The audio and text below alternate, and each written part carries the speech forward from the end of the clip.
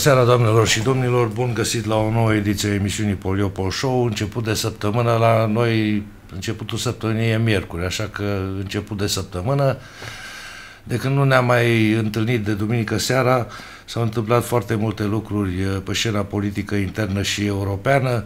În primul rând, cetățeanul de la Cotroceni, președintele, știu eu, numit, Traian Băsescu, care tocmai e pe cale să-și închidă mandatul într-un mod uh, jalnic, uh, a mai suferit o înfrângere, în opinia mea, umilitar, umilitoare din partea premierului Victor Ponta, așa după cum uh, bănuiam noi duminică seara, astăzi a fost desemnată comisar european din partea României, Corina Crețu, cea pe care Victor Ponta a recomandat-o Comisiei Europene și președintelui Comisiei Europene și, surpriză pentru Traian Băsescu, uh, portofoliul era pentru uh, afaceri regionale sau pentru domnul Lungu ajutați-mă că nu știu nu exact. era pentru ajutor umanitar și acum no, este no. pentru politici regionale. Politici regionale. Doamnelor și domnilor, foarte repede, astă seară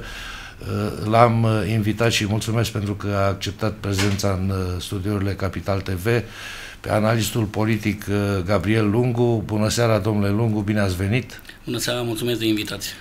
Domnilor și domnilor, pe lângă această înfrângere a lui Traian Băsescu ieri uh, la un post uh, băsist care se numește La B1 TV, Traian Băsescu a produs întreaga mizerie de care este posibil acum la sfârșit de mandat o prestație televizată pe care eu de 24 de ani, de 20 de ani de când lucrez în presă, n-am mai văzut-o la niciun politician, nici măcar la Vadim Tudor când acesta era dezlănțuit împotriva ungurilor. Dar iată am ajuns să trăiesc și ziua în care l-am văzut și pe Traian Băsescu și uh, acesta, uitând că o susține pe față pe pupila dânsului Elena Udrea, pe care o recomandă cu foarte mare căldură, așa, inimă zburdalnică, uh, pentru funcția de președinte, uh, a avut un limbaj suburban puțin spus, uh, mizerabil față de al doilea om din stat, președintele Senatului Călim Popescu Tăricianu. Demersul lui Tăricianu pentru suspendare continuă, să vedem dacă se vor strânge cele o treime din, semnă, din uh, membrii Parlamentului necesar pentru ca să, această procedură să demareze. Așa că o să avem astăzi o emisiune de oră foarte densă. Domnule Gabriel Lungu, pentru început, așa, cum comentați desemnarea Corinei Crețu? În ciuda opoziției președintelui României și a partidului sau alianței form, contra naturii formată din liberali și democrat-liberali. Corina Crețu este un europarlamentar care și-a făcut datoria la, în Parlamentul European. Uh, urmarea acestor uh, calități ale ei, ale celei competențe de care se vorbește că uh, chipurile nu le-ar avea de către răuvoitori, ea a fost desemnată și uh, capul de listă uh, de la PSD, UNPR, PCE. Deci această alianță uh, a avut ca numărul 1 pe listă pe Corina Crețu. Credeți că întâmplător în spatele ei au fost uh, oameni ca Ecaterina Antonescu, Mircea Pascu și alții, uh, deci a fost apreciată clar de către alianța PSD-UNPR-PC să îi reprezinte după primul loc. Pentru că a fost apreciată în Parlamentul European. Ce a făcut uh, Victor Ponta, că a desemnat-o, nu a făcut decât să rezolve o problemă importantă a României comisarul, uh, președintele Comisiei Europene a cerut foarte mult, pe lângă uh, competență, să aibă și nouă persoane uh, feminine în, uh, acest, în această echipă a lui. Și România a făcut bine pentru că desemnând-o pe Corina Crețu a reușit să obțină acest post de comisar, unul dintre cele mai importante la nivel european, este cel mai important pe care l-a avut România până acum, un post care va avea uh, miliarde bune de euro de administrat și Am care înțeles poate că e vorba de peste 300 de 350 miliarde. de miliarde. în șapte ani. Cât, în șapte ani? Da. Cât bugetul României pe șapte ani? Deci, uh, să, dacă la noi să luăm așa în comparație, toată lumea, uh, și vorbeați și de Nena Udrea, sau să vorbim de Dragnea acum, uh, au uh, vrut să uh, conducă Ministerul Dezvoltării Regionale, uh, eu cred că la o scară uriașe este Corina Crețu, care conduce acest comisariat de politici regionale și care sunt convins că își va face treaba. Să nu uităm că ea a avut uh, uh, și experiență și în țară, a avut și consilier prezidențial. Uh, acum să încercăm, domne, că nu ar avea pregătire. Până la urmă urmei, președintele Comisiei Europene a audiat-o, ca și pe ceilalți, și înainte de uh, desemnarea asta, uh, a stat de vorbă cu ea a văzut ce cunoaște, plus că o și cunoștea de acolo din Parlamentul Bun, dar nu trebuie să uităm uh, pe de altă parte că, de fapt, Corina Crețu este vicepreședinte al Parlamentului European. Asta adică e o altă funcție care, vine... care a luat-o acum la început de mandat și acum vine încă o confirmare, o reconfirmare că este bine văzută uh, la Bruxelles. Acum, că uh, s-a încercat să, să inducă în eroare sau cum s-a numit o glumă făcută de cei de la Bruxelles, că România ar uh, putea să primească acel comisariat de ajutor umanitar, că n-ar fi reprezentativ pentru uh, poziția României în Europa, S-a văzut Bun, că, până la urma urmei vreau să vă întreb cum, cum vedeți dumneavoastră mizeria pe care au uh, produs-o în Europa vis-a-vis -vis de România până la urma urmei cele două vârfuri de lance ale băsismului, odată Palatul Cotroceni și Traian Băsescu. Pe surse noi am aflat că de fapt uh, Traian Băsescu ar fi sunat uh, pe președintele Partidului Popular European, European Joseph Dol și i-ar fi solicitat să uh, intervină pe lângă noi nu cunoaștem, șef, noi, noi uh, dați avem să termin. o problemă la nivel deci dați național. voie să termin. Și a doua, uh, uh, al doilea demers pe care l-a, făcut Claus Iohannis și cu uh, Vasile Blaga, Blaga cei care au scris acea scrisoare, nu credeți că acum ar fi cazul și momentul ca acea scrisoare să fie măcar așa de bon ton, retrasă? Nu, nu retrasă, nu trebuie să-și ceară scuze. Au o problemă, asta vreau să zic. La nivel național, culmea este că noi cerem uh, uh, competențe la un nivel local, la o instituție mult mai mică, dar nu cerem competențe la unii care doresc uh, să conducă România. Problema este în felul următor. Dacă aveau dreptate. Că ei de ce au reclamat? Au reclamat că Parlamentul României, că Dra- ăsta Zgonea, care a primit o scrisoare de la Ponta și așa mai departe, uh, nu au respectat procedura de propunere a numi a Corinei Crețu. Da? Ce înseamnă procedura? Acum, culmea e, niciun stat european nu are această procedură ca cei care ar fi propuși către uh, comisarii uh, europeni să fie audiați în Parlament. Acum, s-a văzut clar de tot că dacă ar fi avut dreptate Blaga și Iohannis, în cazul ăsta, cei de la Comisia Europeană Dom'le, nu acceptau pe Corina Crețu. Bun, dar eu stau și mă Deci aici, așa. aici este Câte... uh, adevărul. Mă Am Acum, înțeles, dar eu stau, la pâră, domnule, domnule, la domnule pâră, de la înalta poartă. Nu, până la pâră. Uh, fiindcă ați deschis uh, cutia Pandora, eu stau și mă gândesc așa, bun, Uh, dar ce ar fi trebuit să audieze Parlamentul României? Pe cine? Cum? Pentru că uh, Jean-Claude Juncker este singurul în măsură care să decidă ce comisar european, păi asta pe ce vine, funcție Asta pune. vine ceea ce spuneam cu lipsa de pregătire, cu lipsa de cunoștințe, pentru că până la urma urmei România a propus două persoane, pe Cioloș și pe Crețu. Îi audiam pe amândoi, puteam să propunem și cinci. Exact ceea ce spuneați, Juncker îl alegea pe, Bun, dar pe eu stau să mă gândesc. Din cinci aia pe care dumneavoastră spuneți că ar fi trebuit să iau de Nu ar fi trebuit, putea să propună. Putea, așa. Păi ă, ce comisii? Sau toate comisiile trebuia să treacă prin toate comisiile sau cum? De nume, rămâne la ideea clară. Nu au avut pregătirea necesară, nu au avut cunoștințele și poate a fost și rea voință să te duci să părăști la înalta poartă. Bun, și noi cetățenii să... ăștia de rând, ce să înțelegem păi noi, toate astea? Noi asta trebuie să înțelegem. Ca la 4 ani, ca la 5 ani, uh, sau uh, așa cu parțiale, să știm, uh, să tragem concluziile și să nu uităm asemenea fapte, să nu trecem peste ele când ajungem uh, în ziua votului și să uh, sancționăm de cuvință. Restul... Bun, dar sunt foarte mulți alegători care sunt de bună credință, care nu urmăresc poziția, opinia tuturor părților implicate. Păi și... nu, a, nu urmăresc, dar ar trebui să urmărească. Deci nu urmăresc, dar trebuie să o urmărească. Trebuie să știm clar Sau de poate că n-au pregătirea uh, politică necesară să vadă cine are dreptate, accept, cine nu are dreptate. Eu orice.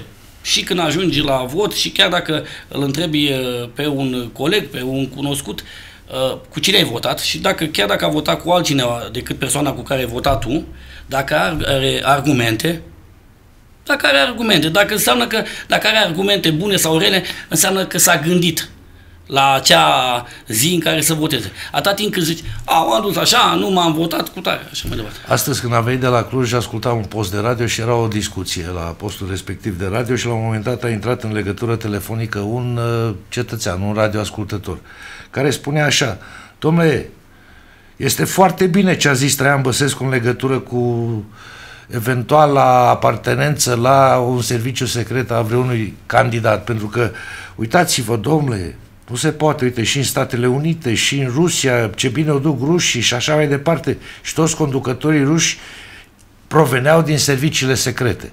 Cum comentați uh, o altă mizerie pe care a transmis-o Traian Băsescu prin postul la B1 TV?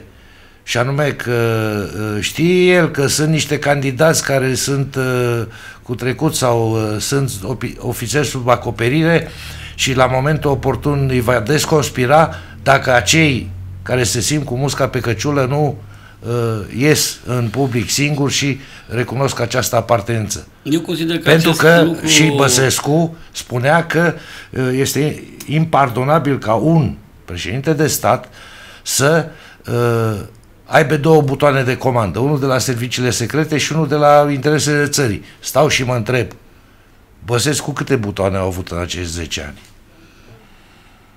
Poate nu mă interesează să-i număr butoanele lui Băsescu, dar un singur lucru putem spune, că este o poziție de șantaj.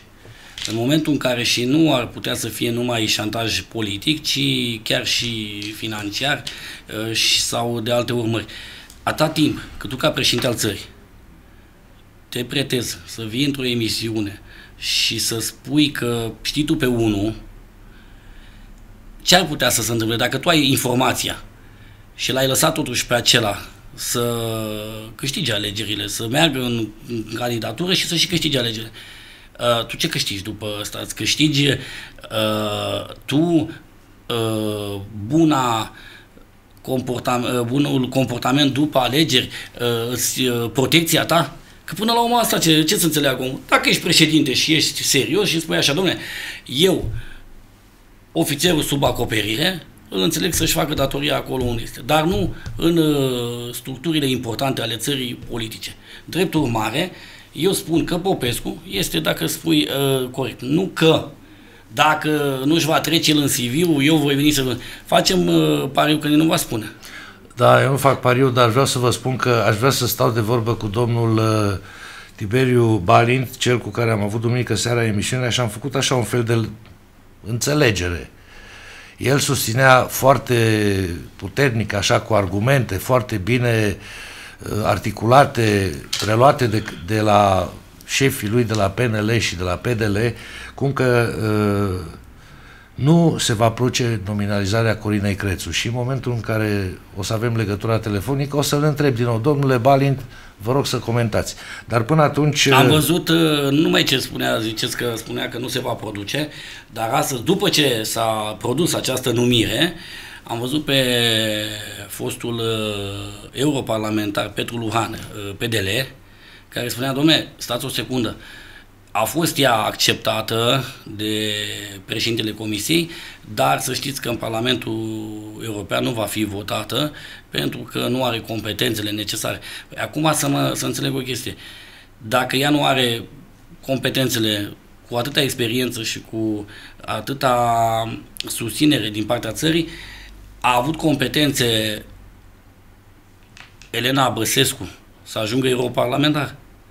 Uh, chiar în A- această, asta, domnule Lungu, e chiar o în întrebare această, retorică, așa? Chiar în această clădire, uh, să ținem minte că Elena Băsescu, la o masă în studiourile uh, One TV, uh, spunea că cum să țin ma- mâinile pe masă? Uh, Să aduc ce mortie, par mai uh, intelectuală, mai deșteaptă în felul ăsta. Deci o persoană de genul ăla a ajuns Bun, europarlamentar. dar vreau să vă spun că mie de acolo mi se trage. Da, Da, de acolo mi se trage. În fine, nu contează asta. O să mai avem timp să discutăm și despre acele lucruri. Dar până atunci, domnule uh, Lungu, vă rog în două cuvinte să caracterizați uh, prestația lui Traian Băsescu la summitul NATO din țara Galilor, pentru că acea poză nu-mi iese din minte când uh, Barack Obama pe alee trecea cu mâinile la spate și lângă el, așa ca și un cățeluș, Traian Băsescu pe bordură, era cu mâinile în buzunare, înfundat cu mâinile în buzunare până la cot. Acum, fotografia e amuzantă, am văzut-o și eu. Bun, dar, Uh, uh, să mergi pe bordură, ce să putea înțeleg eu, zice că cetățean? Putea să calce și spațiu verde, dar acum trebuie să fim uh, corecți și să spunem că am văzut și eu o fotografie în care uh, Obama îl ținea după, așa, după gât uh, pe Traian Băsescu, ceea ce spune altceva. Uh, Eu în nu ceea vorbesc despre relația Băsescu-Obama, În eu ceea vorbesc ce despre privește- poziția și, și imaginea României într-o asemenea uh, Am situație. înțeles, dar nu cred că noi, eu cred că nu a băgat nimeni în seamă în Occident așa ceva. Aia a fost o imagine care uh, a fost așa amuzantă pentru români, uh, pusă pe la Antena 3 uh, la Mircea Badea Dar și nu, așa mai nu departe. neapărat la Antena 3 am văzut-o, Dar, că e prin uh, internetul de poza respectivă. Dar uh, de ce n-au dat-o și pe aceea care îl ține Obama de gât? Pe am văzut-o și pe aia. Da, dar la aia nu s-a mai făcut uh, propagandă. Uh, până la urma urmei, uh, trebuie apreciat și un lucru. Băsescu a știut să aibă o relație uh, acceptabilă și cu Germania și cu Statele Unite. Bun, dar în opinia mea, uh, acea relație acceptabilă cu Statele Unite uh, vine, uh, îmi cer scuze, Da, da. uh, întrerup ideea pentru că l-avem la telefon pe domnul Tiberiu Balint. Alo, bună seara, domnule Balint. Bună seara, domnul Poliocor. Domnule Balint, a sosit momentul să stăm de vorbă pe intermediul uh, tehnicilor astea moderne și să vă spun... Uh, Vă amintiți ce am discutat duminică seara aici în platou? Desigur.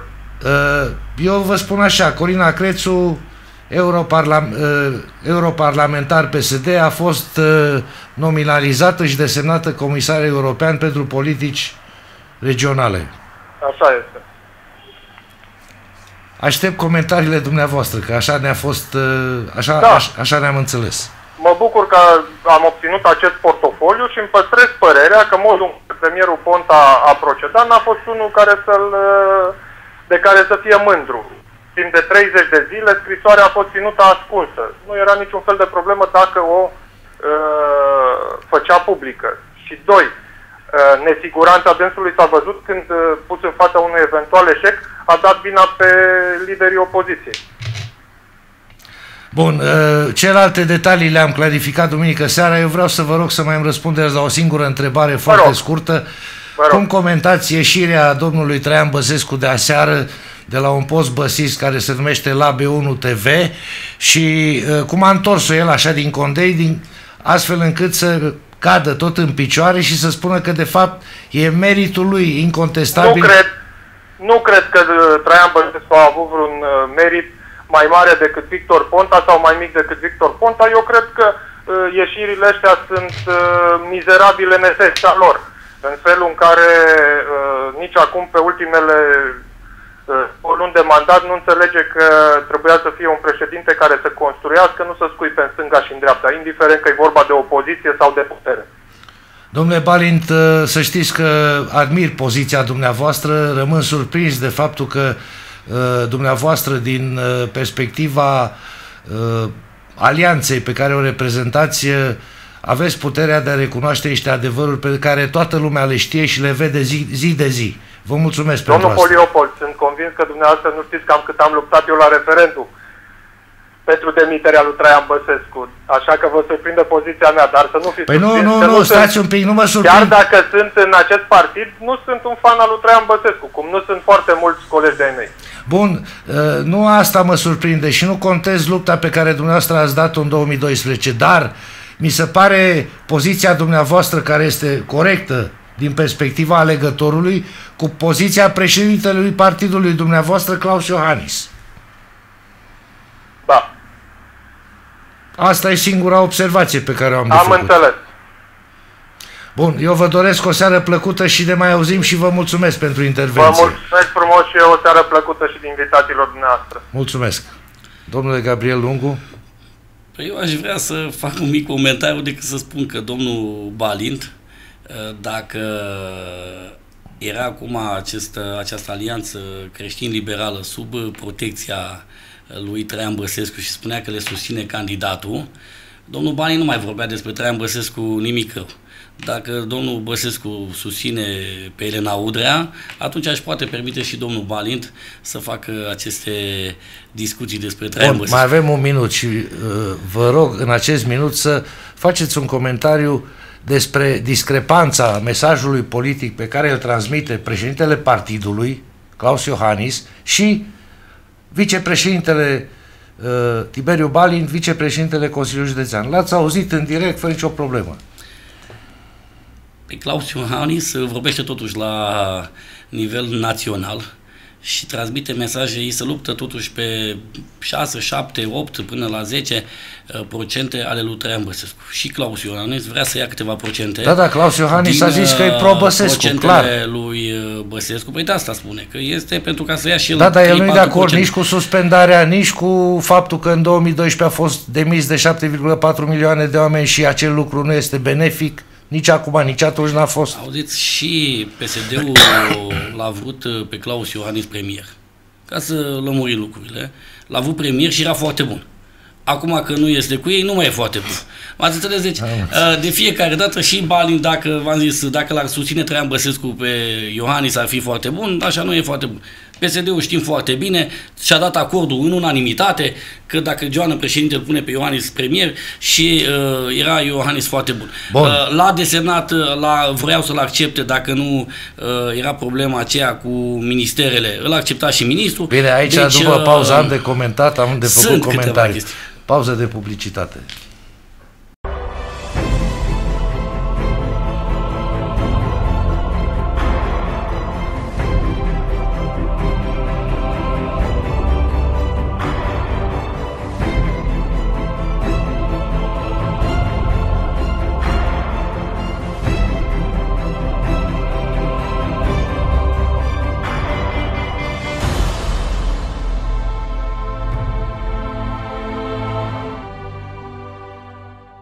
Din nou în direct, doamnelor și domnilor, pentru partea a doua discuție pe care o urmăriți astă seară cu domnul Gabriel Lungu, analist politic.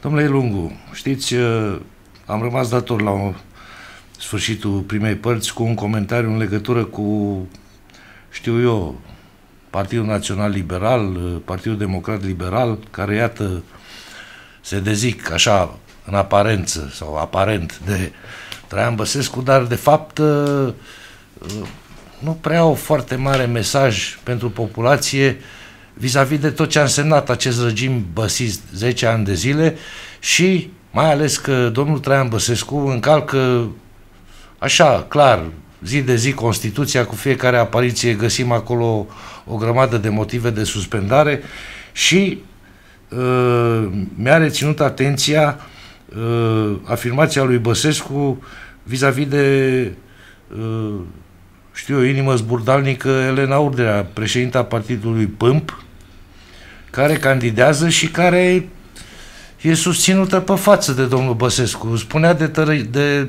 Popescu Tăricianu că e inimă zburdalnică în legătură cu cele nu știu câte neveste pe care le-a avut, dar acele neveste n-au fost promovate, știu eu, vicepreședintele Senatului sau uh, președintele Partidului uh, Liberal Reformator sau nu știu al- ce alte funcții, ci uh, au rămas în postura lor de persoane private, în schimb, inimă zburdalnică Traian Băsescu o susține vehement pe, și a susținut-o 10 ani pe Elena Băsescu, pe, și pe Elena Băsescu și pe Elena Udrea și mai mult de atât a afirmat că este singurul politician român în care are încredere și care ar vrea să-i lase moștenire scaunul de la Cotroceni. N-ar fi nicio surpriză pentru Traian Băsescu. El știm foarte bine ceea ce vorbeam de Elena Băsescu, fica lui care atunci când a trebuit să fie a trebuit să fie, de asta apăs pe acest cuvânt, uh, europarlamentar a dat ordin la toate organizațiile PDL din țară ca la fiecare secție de votare să aibă 10 voturi pentru... 15, eu am înțeles 10, că 15. 15. Oricum, necesarul pentru a intra în uh, uh Parlamentul European de pe independent. de candidat independent. independent. Uh, în România, dacă e în clipa de față un academician, uh, un inventator, chiar și singurul român prunariu care a zburat în cosmos, Uh, n-ar reuși această performanță de a câștiga europarlamentar. A câștigat, e adevărat, acum un uh, actor îndrăgit uh, de către români, Mircea Deaconu, dar și pe dar, o acțiune de, de victimizare. A, și... Mircea Deaconu era, de fapt, a fost atipică. Da, și susținut, este adevărat, așa, cu îngăduință de către PSD. Dar Elena Băsescu, după aceea Elena Udrea, care cel puțin Băsescu poate trebuie apreciat că, domnule, uite, el este un uh, galanton, așa spune clar de tot ceea ce face. Ceea ce răspundeați despre Tăricianu, da, a avut vreo cinci neveste, uh, nu le-a promovat în față, nu a luat-o pe niciuna să o pună uh, pe funcția de consilier la uh, cabinetul primului ministru, uh, nu a luat-o nici acum pe actuala la Senat. Și cred că să rămânem la Tăricianu este în momentul de față așa, în acțiunea asta cu suspendarea președintelui. Eu trebuie să spun așa clar de tot că nu sunt de acord cu Tăricianu ca persoană, că cred că e prea târziu să mai faci acest lucru. Lucru cu, cu care am văzut uh, că această acțiune a lui Tăricianu nu este văzută bine nici în PSD. Nici de Bun, către pe mine, Dragnea, pe mine ca și cetățean, am înțeles, dar pe mine ca și cetățean român, sătul de 10 ani de băsism crunt și o zi.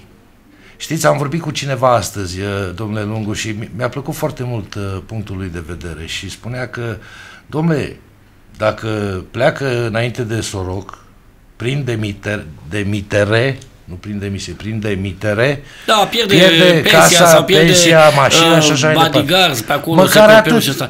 Măcar nu atât. va pierde. Deci nu va pierde, deci uh, Tăricianu... Ca o reparație morală a acestor 10 ani, dar ca o reparație morală a acestor 10 ani, eu ca și cetățean uh, care am suferit de pe urma prestațiilor regimului băsist și mai sufer încă foarte, foarte crunt, spun că și acea zi în minus, la mandat, mă arunge pe suflet. Moral, nu dacă din alte motive. Acum nu putem să fim în, la nivelul ăsta de țară, de ce? să fim uh, sentimentali. Și dacă mă iau așa și după o declarație poate care a fost scăpată de Ilie Sârbu, liderul grupului din uh, Senat, care Tome, uh, la întrebarea politicienii... ce ar câștiga cetățenii, da? a spus că nimic. Nu, cetățenii ar câștiga o reparație morală. Dar, Ilie uh, Sârbu n-a avut dreptate. Eu vă spun așa. Și vreau să vă mai spun că făceați la un moment dat referire la să zicem, relațiile bune dintre Obama și dintre Statele Unite și România. Uh, și România. Eu spun că noi suntem uh, un fel de colonie a Statelor Unite. Statele Unite în România de către politicieni este privit ca marele licurici și cred că știți foarte bine uh, intervenția americană prin atașatul de la uh, ambasadă, prin diverse personaje, în momente cheie în politica românească, prin exprimarea unor păreri vădit pro-băsiste. Și Statele aici nu Unite, Statele Unite nu, nu vă contrazic pentru că Statele Unite este adevărat că au făcut uh, prea puțin pentru România de-a lungul istoriei și de-a lungul celor no, Eu mă refer la ultimii acești, trei ani, așa.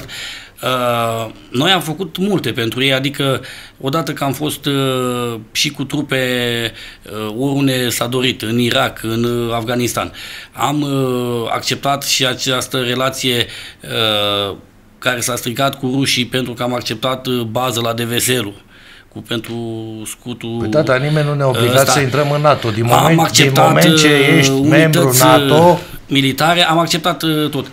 Problema este că românii cred că ar fi vrut uh, ca Statele Unite cel puțin la nivelul de cetățean. Vorbesc acum nu de politician și așa mai departe care au pașapoarte diplomatice. Uh, ar fi vrut ca Statele Unite să le arete încrederea că nu-i văd uh, ca pe niște infractori, ca pe niște oți și să le da și lor viză pentru a intra Nu. în Statele Unite. da, să, le, să le ridice obligativitatea vizelor, de Da. fapt. Păi problema este că nu prea dă viză nici așa, decât cu niște condiții foarte Nu, dar drastice. deocamdată, dacă vrei să te duci în Statele Unite ca cetățean, simplu cetățean al României, trebuie să te duci la ambasadă să-ți obții viză. Dar, Și nu se știe dar- dacă o obții. Păi aia e altă poveste, dar uh, foarte multe dintre țări, de exemplu Ungaria, uh, membre ale Uniunii Europene, nu, nu mai au viză. Statele Unite le-a ridicat Asta am zis, că cetățenilor cetățenii din români ar fi diverse țări dorit ale să vadă Europei această obligativitatea vizelor. Această dovadă de încredere din partea Statelor Unite. Dom'le, avem încredere în voi ca cetățeni. Bun, uh, domnule Lungu, uh, guvernul Ponta, săptămâna trecută, a publicat în monitorul oficial acea celebră ordonanță de urgență care permite migrația primarilor de la un partid la altul și nu neapărat a primarilor. Consilieri județeni, uh, este vorba de politicienii din administrația publică locală și provincial, din provincie. Nu neapărat din provincie, la nivel local. Uh, din nou opoziția a sărit cu foarte mare vehemență să critique această ordonanță de urgență, uitând că de fapt acum câțiva ani În și ei au 2006, făcut, că nu era PSD-ul la putere. Așa, au dat și ei o ordonanță la fel, sau o lege la fel, uh, dar mai mult de atât uh, au început să o atace pe la avocatul poporului, pe la Curtea Constituțională, pe la cutare, în timp ce această ordonanță de urgență își produce efectele dumneavoastră din perspectiva și din deschiderea pe care o aveți și din relațiile pe care le aveți cu diverse autori- uh, persoane care dețin funcții la nivelul autorităților publice locale. Credeți că această ordonanță de urgență va face ca lucrurile să funcționeze bine? Sau va fi o migrație de la PDL-PNL către PSD sau UNPR sau știu eu? De fiecare dată când au migrat primarii, mă refer la primari sau președinți de consilii județene, au, pri- au uh, migrat pentru bani. Deci ca să înțelegem lucrurile și să le spunem la modul serios. N-au migrat că le-a plăcut lor doctrina uh, PSD-istă, liberală și așa mai departe. Deci eu, li- sau pe de listă, eu au migrat pentru bani. A, Sunt uh, în opoziție de mo- momentul de față, mă duc la șeful partidului uh, din județul respectiv, uh, cel care e la guvernare, spune eu aș vrea să vin la dumneatale, dacă mai lua dumneata... Bun, am înțeles eu uh, uh, motivația. Ce-mi dai? Ce-mi am dai? înțeles motivația, dar până la urma urmei, uh, haideți să vorbim la nivelul județului Hun- Hunedoara. Vă așteptați la multe migrații dintr-o parte într-alta? Nu mă aștept, uh, așa poate la rândul consilierilor, la primari, la puțini, uh, dintr-un motiv uh, elementar. Unii deja o făcuseră până în momentul de față. Păi o făcuseră, să zicem, uh, uh, cam Nu, o așa, făcuseră, cam, uh, uh, cam vă dau un exemplu. Printr-un blat, printr-un blat uh, cu cu conducerea președintele de partid, partid, de care la l-a nivelul exclus județului. din partid pe Așa. primarul respectiv și atunci primarul respectiv a rămas așa, liber de Da, a făcut un blat cu... uh, partid și așa mai departe. Deci unii au făcut-o din a, până acum. Uh, cred că unii în acest moment și, și cunosc persoane care au spus că o să rămână independenți, vorbesc din rândul consilierilor, uh, această independență le dă lor posibilitatea Să baloteze. să când baloteze într-o mai parte- târziu și după cele 45 de zile. Așa, bun. Înțelegeți? Uh, Deci, Noi la uh, nivelul uh, municipiului uh, sau municipiul uh, eu cred că de data asta nu vor... uh, aveți cumva un procent în vedere câți dintre... Nu, nu am procent, dar eu zic în felul următor, nu o să fie atât de mulți, din ce motiv? Uh, a observat un lucru. Uh, de când este Ponta premier, de 2 ani și jumătate, uh, prima măsură care sau printre primele măsuri care le-a luat uh, Ponta acum 2 ani uh, și jumătate, a fost uh, de a desfința o ordonanță, o tără de guvern, prin care Răzvan Ungureanu dădea bani la toți pedeliști. M-ați înțeles? Ponta a venit și a zis, domnule, eu atac pe asta, îi dau un judecat, le iau banii, le-a luat banii, le-a blocat banii și așa mai departe. Era clar, din acel moment, că Ponta nu poate să atace o tărea de guvern al lui Ungureanu și peste două luni să facă el același lucru, da? Am înțeles. E, în clipa de față, după doi ani și ceva, nu s-a mai dat niciodată Domnule... din rezerva uh, premierului, de la rezerva Ceea ce asta, e foarte și bine. asta. Nu a mai politizat atâta treaba aceasta, n-au mai primit pe criterii politice bani uh, și așa mai departe, deci unii se pot gândi acum, bun, dacă ei n-au primit ai lor până acum pe criterii politice le, Noi dacă noi trecem- mergem, trecem, noi primim ceva. Bun, Bun, uh, unii au trimit, de exemplu, uh, am apreciat, uh, de exemplu, declarația primarului Galațului, Mariu Stan, care era liberal și care a spus, domnule, nu trec eu, că nu știu ce îmi promite mie guvernul, nimic. A, domnule, uh, eu am uh, o relație de prietenie cu Gabriel Oprea. Îl cunosc de foarte mulți ani, știu că e un am parolist, mă întâlnesc cu el cu tare. Eu trec la UNPR și a trecut la UNPR. M-ați înțeles? Bun, dar ordonanța de urgență asta nu obligă sau nici într-un fel nu rezultă din ordonanța de urgență obligativitatea aleșilor locali de a trece doar la PSD. Poate să treacă și la PC, Păi nu, da, poate de să treacă și fiecare la dată UNPR. au trecut, domnule, au Am trecut, înțeles une că este, sunteți UNPR-iștii une, ăștia. une, une la putere, Ascultați-mă domnule, un m-ați pic, păi UNPR-ul e la putere. Deci, UNPR-iștii ăștia sunt al doilea partid ca mărime din țară, ca și număr de membri. Am ascultat o statistică. Dar până atunci, domnule Gabriel Lungu, vreau să vă spun că unul dintre cei mai mari traseiști din uh, Valea Jiului este primarul Vulcanului, domnul Ile Gheorghe. Uh, nu știu, uh, pe vremea când se făcea acea telegondolă acolo, finanțată din banii doamnei Udrea, cu mare surle și trâmbițe, uh, era foarte bun PDL-ul. După care acum am înțeles și eu, nu știu dacă e adevărat sau nu, este pe la PSD așa. Credeți că va obține domnul Ile finanțare în continuare la acea lucrare inutilă care pleacă Păi, de nicăieri și răspunsul- duce nicăieri? Răspunsul vi l-am dat puțin mai înainte, în care am spus... Păi și atunci de ce a trecut? De ce că- a mai trecut? Păi da, e din reflex. Deci să fim tot timpul cu puterea. Uh, mulți, uh, acum trebuie să mai recunoaște că în afară de a se gândi la niște proiecte, să fie finanțate, uh, mulți se gândesc și la protecție. Păi și de ce ar uh, avea nevoie domnul Ile de uh, protecție, de domnule, exemplu? Mulți se gândesc la protecție, mulți se gândesc că uh, polițistul localității altfel îl vede dacă el e la putere, nu mai vine așa să-l controleze, vine și dă raportul la sediu de partid, uh, altfel se întâmplă dacă ești la putere. M-ați înțeles? Nu știu, Deci ăsta, iar uh, în legătură cu... Explicația dumneavoastră, cel puțin pe mine personal, nu mă satisface absolut deloc. Am auzit că Păi nu, satisface. telegondola a fost obiectul Deci, uh, deci Uh, să înțelegem, corpului de control al primului ministru. Corpul de control al primului ministru în domeniul schiabil uh, și, de fapt, în Valea Jiului, până acum de curând, în care a cercetat niște probleme la complexul energetic cu Nedoara, a mai fost în, uh, în două localități în Valea Jiului, adică domeniul schiabil de la Vulcan și domeniul schiabil de la Petroșani. Așa. Aceste două domenii schiabile au fost controlate, au fost niște rapoarte făcute publice uh, de către corpul de control. Uh, Dosarele, la finalul dosarului, spuneau că uh, vor fi înaintate parchetului general. M-ați înțeles? De aici Deci, încolo... uh, haide uh, să înțeleg și eu, că eu sunt mai, așa, mai încet la o logică elementară de asta.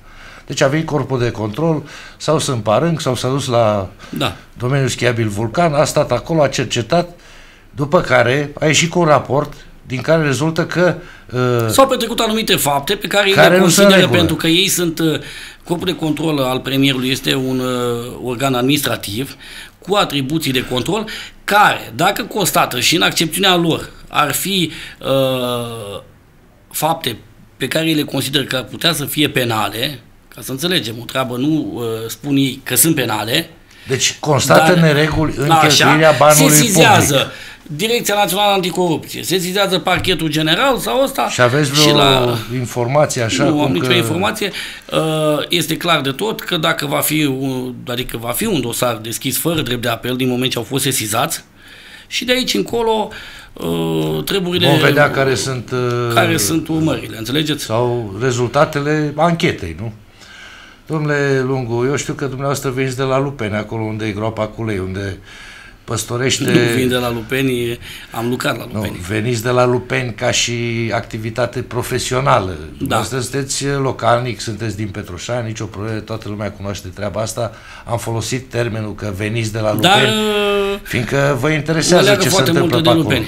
Vă interesează ce se întâmplă pe acolo. Am fost și eu recent la Lupeni, deci uh, multe orașe arată în Valea Jilului, să zicem, relativ bine. Eu rămân surprins că s-au mai făcut unele lucruri și la Petrila, și la Petroșani, Ai și pe la Vulcan, centrul ăla acolo care, nu știu cine a fost proiectantul, dar mai mare catastrofă din punct de vedere al proiectării n-am văzut.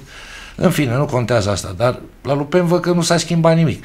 Mai mult de atât, astăzi, venind în coace, am auzit că astăzi la Lupen, la administrație, la primăria Lupen, ar fi fost zi de salar. De... Pe data de 10, da, să lua... Și am înțeles că salar nu prea iau oamenii de acolo. Care ar fi din păcate, motivația? Din păcate, este a doua lună în care colegii mei, le pot spune, de la Lupenie, uh, nu reușesc să-și primească salariile. N-aș putea spune că nu s-a făcut uh, nimic în Lupeni. Lupeniu, până la urmă, urmei, dacă ne luăm, e un oraș reprezentativ la nivel național, este un oraș istoric, dar uh, ce se întâmplă? S-a ajuns uh, acolo pentru că nu s-a dorit să se uh, oprească odată uh, debandata, într-un fel. Ce înseamnă debandata? Adică nu se Sifonarea poate... banilor publici? Puteți să luați și acest lucru, dar uh, tot la fel cum am spus în cazul ăsta uh, cu anchetele până nu se demonstrează sau asta tot timpul ca jurist eu pot să spun că primează prezumția de nevinovăție. Ideea e în felul următor. Uh, este rușinos că poți să ajungi ca și localitate de 22.000 de locuitori să ai 488 de miliarde de lei vechi datorie, adică, Asta ce înseamnă adică lei noștri 48,8 milioane lei noi, adică, adică, adică cam cât are 10 jumate... milioane de euro. Domnule, adică cât are jumătate din România. Ascultați un pic, 10 milioane de euro, spun bine? Da, uh, chiar mai mult. Deci, uh, și datoriile astea din ce vin? Care deci, uh, asta ca să, să luăm comparativ, este că jumătate din România are datorii cât are Lupeniu. Adică la, administ- la nivelul administrației publice locale, locale la da. nivelul orașelor. Da, orașelor, județelor și așa mai departe. Deci, jumate din România au datorii în momentul de față de uh, cât are Lupeniu, o singură localitate. Bun. Deci ceea ce este, deci nu este aproape datoria atât de mare cât e, cât e orașul atât de mic. Uh, Eu aș vrea să, să ajunge, cârcotaj la să momentul ajunge, acesta să și ajunge, să vă spun așa, dacă administrația publică e psd acolo la... Păi tocmai ce v-am spus. De ce nu mulți... iau banii de la cealaltă jumate care nu e datoare și să astu pe gaura? Eu v-am spus uh, înainte și uite s-a nimerit uh, că ceea ce v-am spus cu politizarea asta n-a mai mers, mulți s-au așteptat, facem noi tot felul de prostii. De exemplu, angajăm noi lucrări în uh, uh, straja, ca să luăm așa, fără să avem banii deloc. Noi ne bazăm, lasă noi la putere, îi mințim pe ea, pe constructul și așa mai departe, că vin banii de la ăsta, facem noi tot felul de prostii și ne vin banii de la guvern. Banii n-au mai venit și acum uh, mai fac o precizare.